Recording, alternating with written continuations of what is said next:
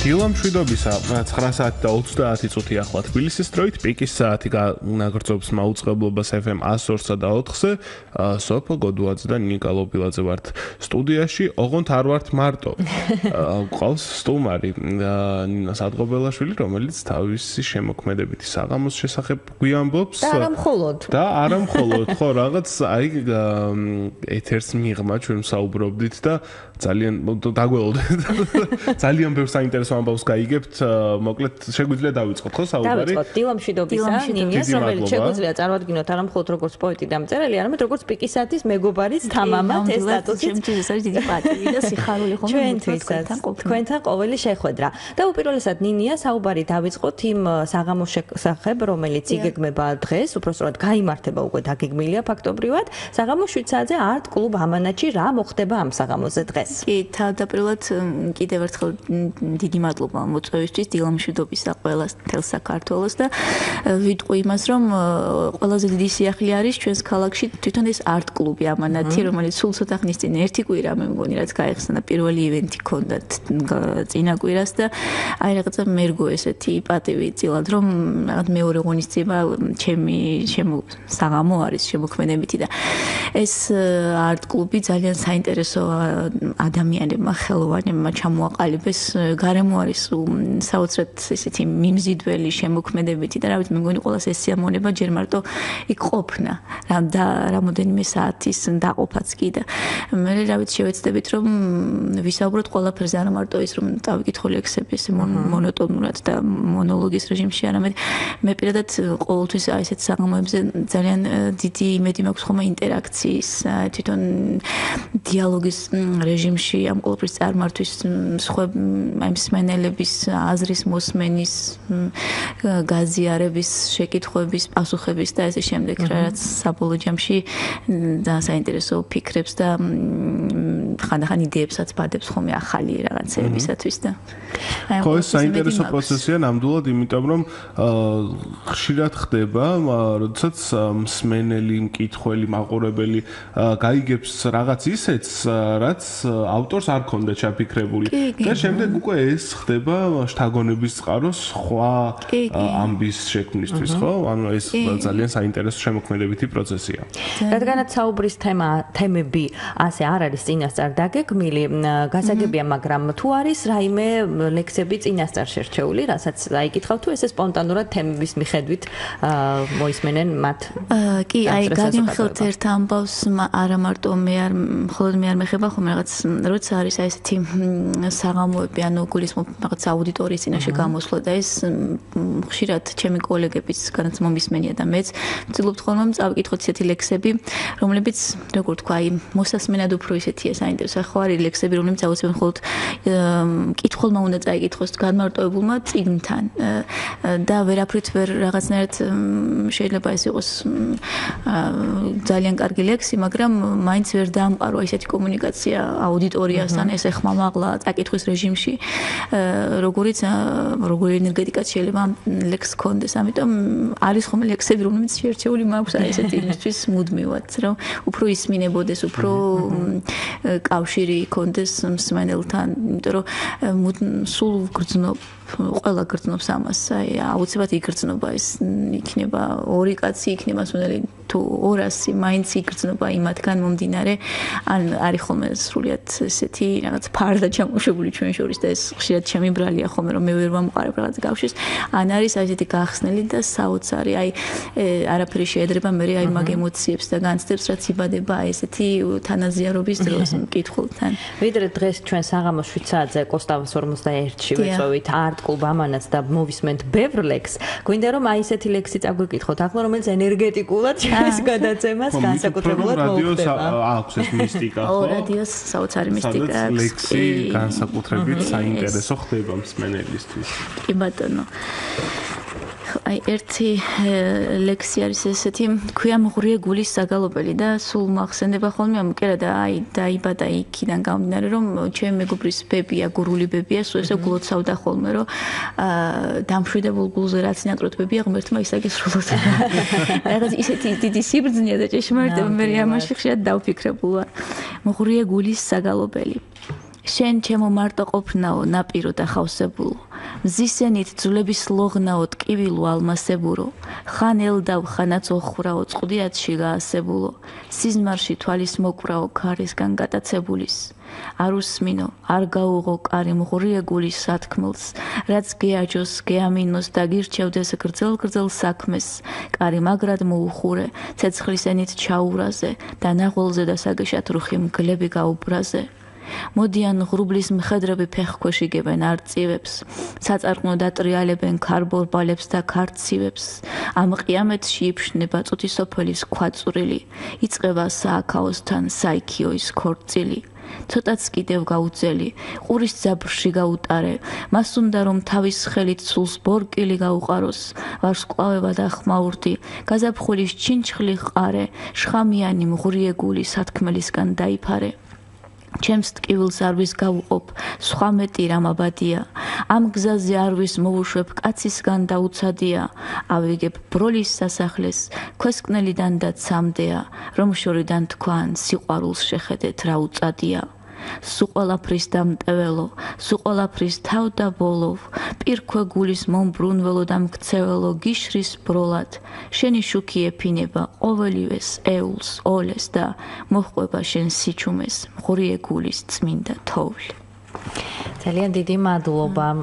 და აი გურული ბებოს ნათქვამი მე პირადად აი ახლა არასდროს არ დამაფიქრდება და მით უფრო ამ ლექსის ფონზე კიდევ ძალიან ბევრი ვიფიქრე იმაზე რაც თქვით. ძალიან დიდი მადლობა.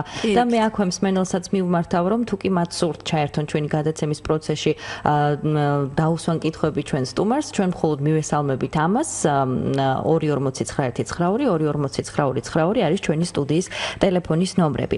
ჩვენ დავისაუბროთ კიდევ ერთ ძალიან კარგ ამბავზე, რომელსაც ოქტომბრის ბოლოსკენ ველოდებით ციგნის პრეზენტაცია სახელწოდებით განძის თეატრი თუმცა ეს არის მეორე ნაწილი.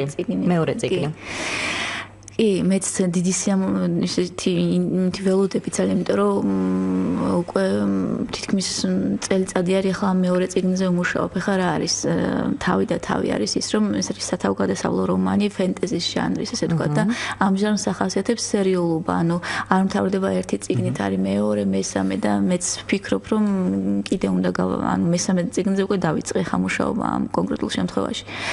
ეს არის წიგნი, რომლის ის აი ინსპირაციაც რაღაც აი თავარი ფაბულად და ყველაფერის წამოვიდა ჩვენი ქართული ფოლკლორიდან, მითებიდან და ლეგენდებიდან. და აი აქედან გაჩნდა მე პერსონაჟები, სიუჟეტები და მოკლედ აი თავგადასავლის მთელი ამბები, რა თავგადასავალშიც ეს ჩემი გმირები ეხვევიან. პირველი წიგნი ეხებოდა და ერქვა შვიდი სიმღერის საიდუმლო და ამირანის ის მითზე იყო ძირითადად და მთის ფოლკლორი შემოდიოდა ამ ციგნში.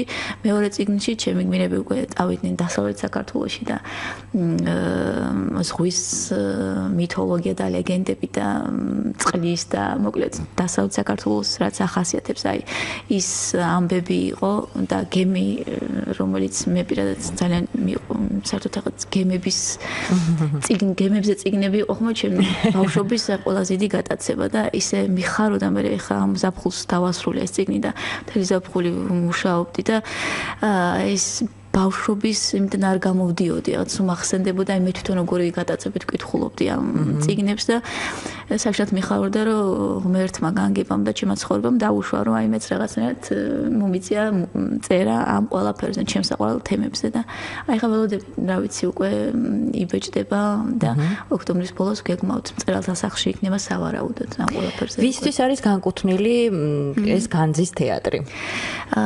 აი ძალიან ისე პირობითად განსაზღვრეთ ასაკი პირველივე ციგნის აი 12 წლიდან ზევით, იმიტომ რომ მაინც პატარები უფრო შეიძლება რაღაცა ესეთი ტექსტი არის, რომ შეიძლება გაუჭirdეთ.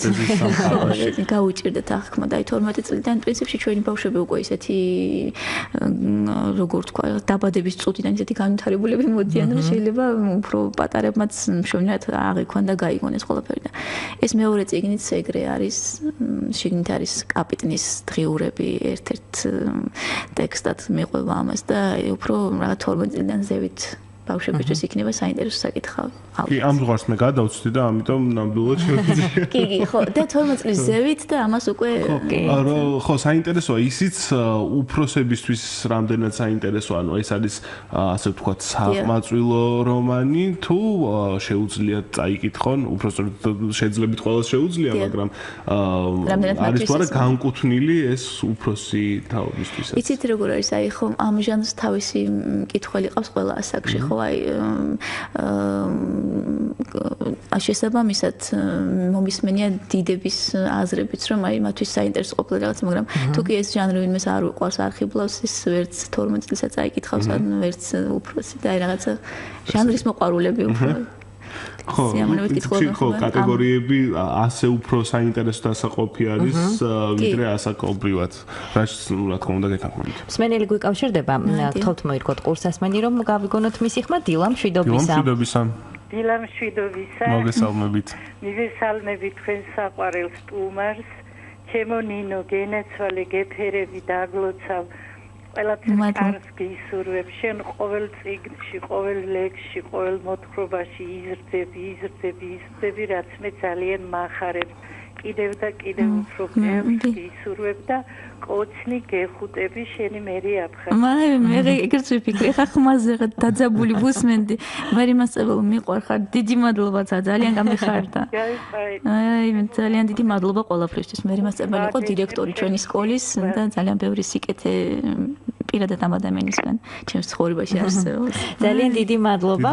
ძალიან სასიხარულოა რომ აი თქვენი ბავშვობიდან ადამიანი ჩვენს ეთერში დაბრუნდა. როგორი საამაყო არის დირექტორისთვის, რომელსაც ასეთი კურსდამთავრებული ყავს, ხო? ძალიან კარგი კურსდამთავრებულები ყავს ამ დირექტორს, აი ვანო ხუციშვილი კიდე ჩემი კლასელი და მეგობარი იოანე ხუციშვილი რეჟისორი არის. ეხლა გავიხსენებ ვანოსაც ამ დილის მადლით და მე იმასწავლებლისთვის ჩვენ ხო ყოველთვის რაღაც ჩვენთვისაც ძალიან კარგი იყო განსაკუთრებული იყო მის სკოლაში ყოფნა და ბევრი სიკეთე მოხდა. გამეხარდა ეხლა. მოდით კიდე ერთ ლექს მოусმენთ დიდი სიამოვნებით. რას წაგვიკითხავთ? ვიდრე მორი პროექტზე ვისაუბრებთ. წუთით ახლა ამდენი ლექსი აღარ მომიფიქრებ. იმიტომ არის კარგი რადიოს ეთერი, რომ სპონტანურად იქნება კარგი განწყობა ყველა საშუალებით და მით უფრო ლექსით. დიახ, ცხადია. აიუნის ბეღურები ემიგრანტ მეგობრებს როცა ვჩნდებოდით ანუ როცა ვიჩეკებოდით ჩვენს მყიფე გარსზე ქარს მოუხვდა ძლიერად ტოტი და ასე სწრაფად ფართხა ფურთხით გამოგვასახლეს ჩათეთქულ ფრთებით სამუდამოდ სარემონტოთი შორს ვერ მივდივართ გულილამის ყურებში გასკდეს, ოდესაც ღრუბლის ლიანდაგი ციდან აუხვევს. ჩვენი კანკალი ზოგს გონია სიმაღლის ელდა, ჩვენ აივინების ფითრი გვაწუხებს. არ ხედავთ სიზმრებს, ესე იგი არაფერს ვიკლებთ და რაც თენდება მზეზე ადრე ჩვენი თვალია. დიდი ქალაქის ნამცეცებით ძალღონეს ვიკრებთ და ქალაქებიც, ნამცეცებიც ტკბილი მწარეა. ჩვენ მივაცილებთ ჩულებს ბაღში, დიდებს სკოლაში, შეხედვართ ქვებთანაც და საფლავებს კარტივით ვიყოფთ. და თხელი ფრთებით ვწნავთ იმათთვის ჰაერის გვირგვინს, ვინც თამაშობს არ ვიყოთ, ვიყოთ. მხოლოდ ხანდახან, როცა სხვები სადმე მიდიან და მათ ზურგებსაც გადალოკავს სიშორის ჭავლი, ჩვენ წვებით ცესის ბილიკებზე თოვლის მაგიერ და გადმოფრენას ფიფქებად სწავლობთ. ჩვენ ვერ წავედით, გაჩენისას და გვაზარალეს და გულებს ღმერთის ნათითურებს ჩუმად ვახველებთ. ჩვენი კანკალი ზოგს გონია შიში სისუსტე ეს სამშობლოა ჩალეწილი გარსის ნაღველი ძალიან დიდი მადლობა კიდევ ერთხელ და მორიგი პროექტი რომელსაც გვინდა რომ ვისაუბროთ ასევე შემოდგომაზე არის დაგეგმილი ის რომ ეს ყველაფერი იხილოს მაყურებელმა მსმენელმა მკითხველმა არც ყველა მერთად ვისაც უყვარს ნინია სატყობელაშვილი. ასურულ მამებზე გადაღებული ფილმის შესახებ უნდა ვისაუბროთ თუ შეიძლება უფრო დაწვრილებით აი ამ პროექტის მე ამ შემთხვევაში ჩემს თავს ის წარმოადგენ კიდევ კინოსტუდია ჰომს ეს არის ძალიან საინტერესო შემოქმედებითი ჯგუფი, რომელიც დაახლოებით 5 წლის წინ შეიქმნა მე და ჩემი მეგობრებმა ერთად. დავაარსეთ ესე ვთქვათ ეს სტუდია და მუშაობთ მხატვრულ დოკუმენტურ ფილმებზე შარშან გამოვიდა ჩვენი პირველი სრულმეტრაჟიანი ფილმი თამარი თამარ მეფის შესახებ. და დაწყებული ჰქონდა უკვე მუშაობა მაგრამ ნუ რაღაცა ბევრი პრობლემა იყო და აი ამის გამო გაგვეწელა თუმცა ეხლა უკვე ვამთავრებთ ფილმს ასურელ მამებზე. აი 13 ასურელი მამა საქართველოსში მათი მოღვაწეობა და პლუს კიდევ თანამედროვე ასურელები. აი ეს ორი ხაზი იქნება ამ ფილმ ფილმში იქნება მხატვრულ დოკუმენტური ჟანრი ასევე და საერთოდ ეს ფილმები გათვალისწინებული გვაქვს როგორც საგანმანათლებლო პროექტი შემეცნებითი პროექტი რომელიც ძალიან გვინდა რომ შევთავაზოთ საქართველოს ყველა სკოლას. აი რაღაც როგორც ვიზუალური სახელმძღვანელო რომ აი საგაკოცილო პროცესში მასწავლებელს ქონდეთ საშუალება რომ აი უფრო ეფექტურად უფრო შთამბეჭდავად აუხსნან თავიანთ მოსწავლეებს. აი როცა იმ კონკრეტულ ეპოქას გაივლიან და აი ამ კონკრეტულ თემებზე ისაუბრებენ. უკვე შეიქმნა ამის პრეცედენტი გორში გქონდა ჩვენ თამარის პრეზენტაცია შარშან გაზაფხულზე ახლა გაზაფხულზე და იქიდან გვირეკავდნენ მე მასწავლებლები რომ აი 45 წუთი ხომ გავიდაო და ბავშვები როგორც წესი რაღაც გამომუშავებული ხო აქვს რომ როგორც დამთავრდება გაკვეთილი მაშინ გაიქცნენ. არავინ არ გაქცეულა დამთავრდა სანამ ფილმი არ დამთავრდა და მე რაღაც დისკუსიაც კი მოყვა ამასო არავინ არ წასულაო და ესო ჩვენთვის რაღაც ეს არის უხარო და იმ დირექტორსაც ვინც დაგვირეკა ჩვენს ხომ უსაზროდ გაგვეხარდა რომ პრინციპში ეს რაღაც ამ შრომის გამართლება იყო ეს ერთგვარად. და აი ამ ასურელ მამებთან დაკავშირებით ძალიან საინტერესო და აი როგორ თქვა ერთ-ერთი გარდამტეხი ეტაპი არის ჩვენი ქვეყნის ისტორიაში, ჩვენი ქრისტიანობის ისტორიაში და არა მხოლოდ ქრისტიანობის, ქრისტიანული კულტურის და საერთოდ მწიგნობრობის და ჩვენი სულიერების ისტორიაში. აი ამ 13 ასურელი მამის შემოსვლა საქართველოში და სულ გვინდოდა, სულ გქონდა ის რომ აი რაღაცა ყოფილიყო ერთ ფილმში მოქცეულიყო თხრობა, ამბავი მათ შესახებ და მით უმეტეს რომ დღეს ჩვენ გვაქვს აი ეგეთი ფუფუნება რომ ჩვენს სინამდვილეში ცხოვრობს და არსებობს ქანდაში აი ეს ჩვენი მამა სერაფიმე ეთნიკურად ასურელი და 13 ასურელი მამის ტაძარი და მამა სერაფიმე ძალიან ბევრ რამში დაგვეხმარა. და პრინციპში ეს ერთ-ერთი იდეაც კიდევ ამ ფილმის შექმნის იყო სირიაში განვითარებული მოვლენები რომელსაც გვინდა რომ მივუძღვნათ ეს ფილმი და სავარაუდოდ აი ესეც რაღაც ნოემბერში უკვე უკვე ვაჩვენებთ მაყურებელს. ძალიან სასიამოვნო. კიდევ ერთი მსმენელი გვიკავშირდება. მივესალმოთ, გამარჯობა. დილომშვიდობის. გისმენთ?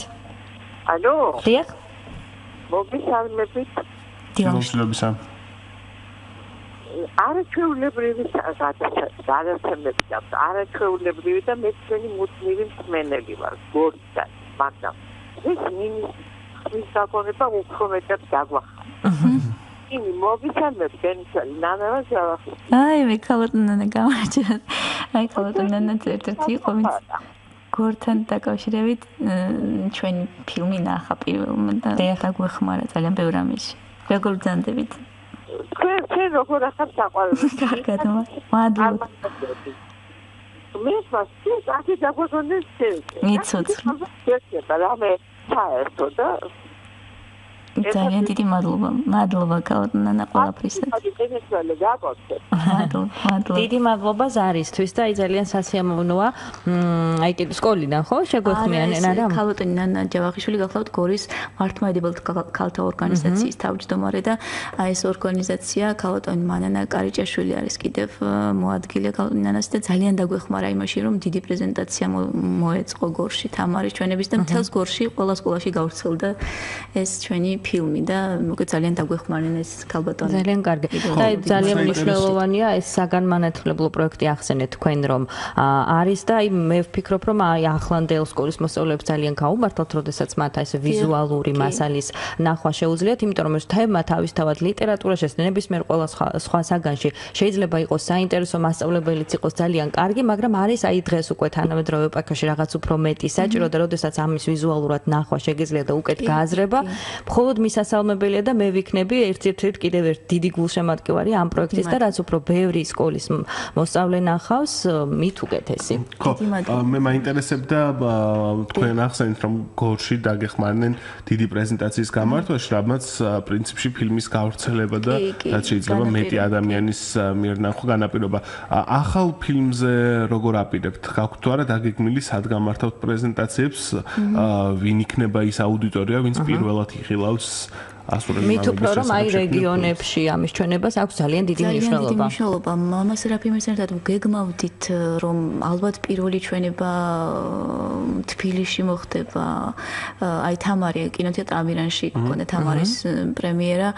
აი ეგრე დეტალურად ჯერ არ ვიცით, მაგრამ ნუ პირველ რიგში ქანდაში მცხოვრები ასურელები რომ იქნებიან ჩვენი პირველი მაყურებლები, ეს ვიცი ზუსტად იმიტომ რომ ძალიან დაგვეხმარნენ ისინი აი ამ ფილმზე მუშაობის დროს და ძალიან ბევრი კარგი დღე და ღამე გვახსოვს იქ გატარებული მამაოსთან ერთად და მე რეგვინდა რომ ეს თანი თარგმნოს რუსულ და ინგლისურ ენებზე და მამაო დაგვეხმარება იმაში რომ უცხოელმა მაყურებლებმა ნახონ. ეს ძალიან გვინდა რომ გავიტანოთ ჩვენ და რომ მარტო ჩვენი ისტორია ხომ არ არის ეს არის სოფლიო ისტორიის ნაწილია და ვინდა რომ ყველამ გაიგოს.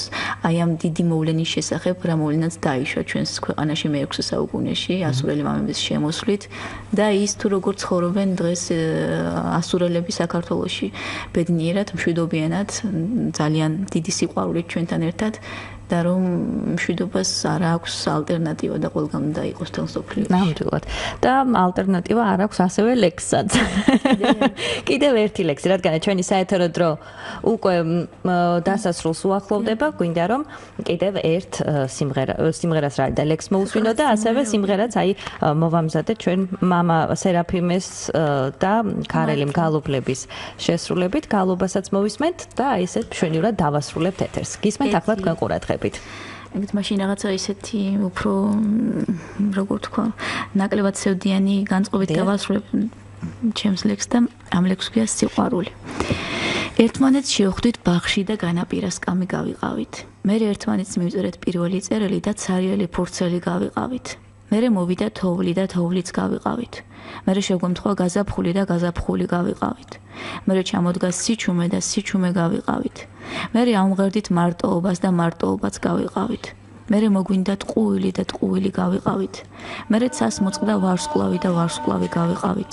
მე მეორე ვარსკვლავი და მეორეც გავიყავით. მე მოგვადგა ჰორიზონტი და ისიც გავიყავით.